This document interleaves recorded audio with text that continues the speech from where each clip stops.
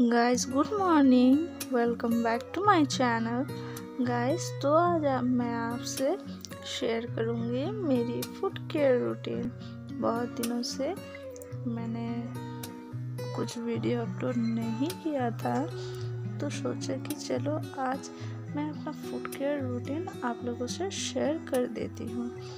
तो यहाँ पर मैं दिखा रही थी कि आ, अपने हेयर को रिमूव कर चुकी थी और अब ये नेल पॉलिश मैं रिमूव करने वाली थी। नेल पॉलिश रिमूवर से।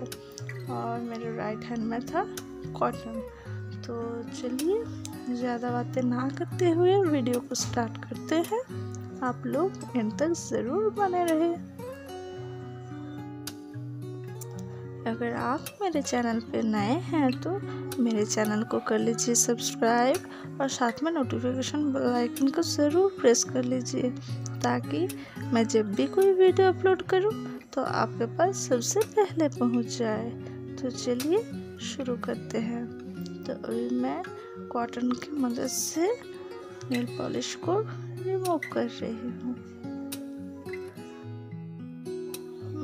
बेसिक लगाना भूल जाती हूँ बार बार इसीलिए नेल पॉलिश रिमूव करने में थोड़ा टाइम लग जाता है। और दो तीन लेयर तो हो ही जाता है, इसीलिए भी रिमूव करना थोड़ा लेट होता है।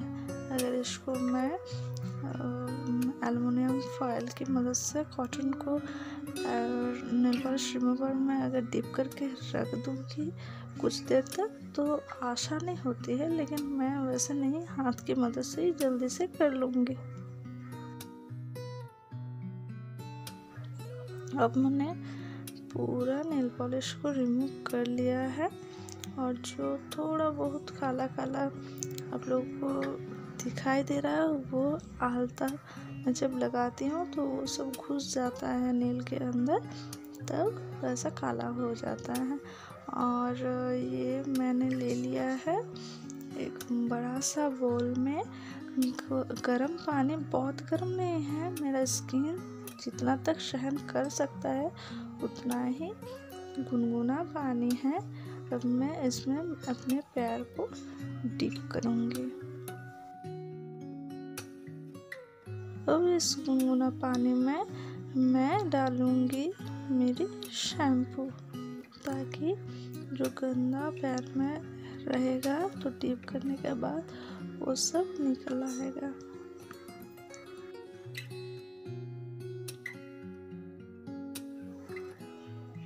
अब कुछ देर तक ऐसे मैं रखूँगी अपने पैर को, ताकि बहुत सॉफ्ट हो जाए और जितने भी गंदा है सब बाहर निकल आए। अब मैं लूफा की मदद से अपने पैर को, नेल को, सबको अच्छे से क्लीन कर लूँगी।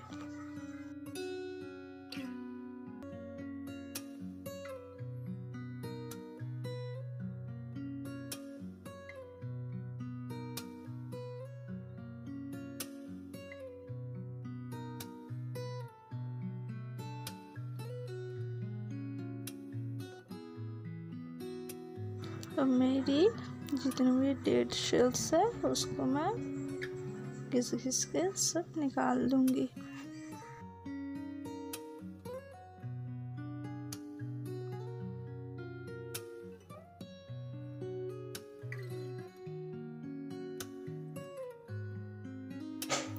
और ये है मेरा डी आई वाई फिर स्क्रबर तो इसको मैं पानी की मदद से थोड़ा गीला करके और अपने फिर पे अप्लाई करूँगी। अच्छे से मसाज करूँगी और जितनी भी डेड स्कैस बाकी बचा हुआ है, सबको निकाल लूँगी अच्छे से मसाज करके।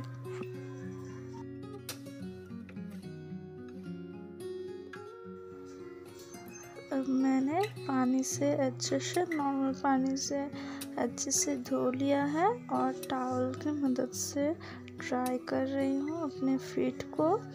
उसके बाद मैं अप्लाई करूँगी डी आई मॉइस्चराइज़र और आप मार्केट से ख़रीदी हुई मॉइस्चराइज़र भी अपने पैर पे अप्लाई कर सकते हैं। मॉइस्चराइज़र अप्लाई करने से आपकी फीट बहुत सॉफ्ट स्मूथ और सिल्की शाइनी रहेगी। और जो ड्राई हो गया है, वो मॉइस्ट भी आ जाएगी। मैं कोशिश करती हूँ कि इस विंटर में मैं एवरीडे नाइट में इस मॉइस्चराइज़र को अपने हेल्स पे, पैर पे पूरी जगह लगा के सॉक्स पहन के सो सकूँ। तो मैं नाइट में ये करती हूँ। लोग भी ज़रूर कीजिए, इससे आपके पैर बहुत ही सॉफ्ट और हेल्दी रहेगा।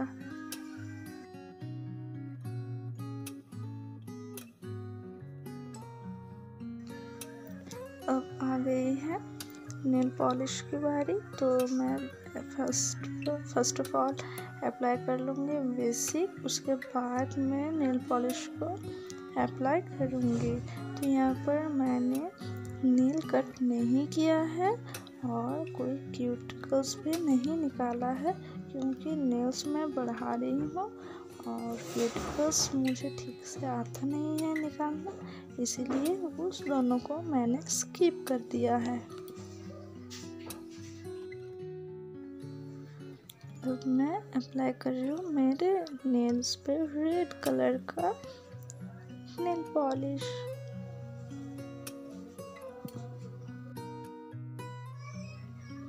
ऐसे ही मैं करती हूँ अपनी फिट केयर रूटीन मंथ में एक बार ज़रूर आप लोग कैसे करते हैं, ज़रूर कमेंट करके बताना। वीडियो अगर अच्छी लगी हो तो लाइक कर देना, मेरे चैनल को सब्सक्राइब कर देना। इस वीडियो को बहुत बहुत बहुत सारा सा प्यार देना शेयर करना। मैं मिलती हूँ मेरे नेक्स्ट वीडियो पर। तब तक के लिए बाय